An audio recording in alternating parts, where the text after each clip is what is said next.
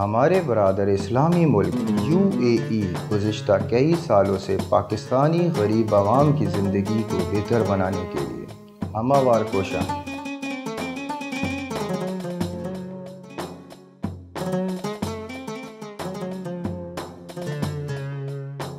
متحدہ عرب امارات کے شیخ سلطان بن حمدان بن زید النیان دورے کے دوران شیخ سلطان سندھ کے دور دراز علاقوں میں گئے۔ शेख सुल्तान बिन हमदान ने सर्द मौसम के दौरान ज़रूरतमंद अफराद में गर्म कपड़े, कंबल और जैकेट्स तकसीम किए।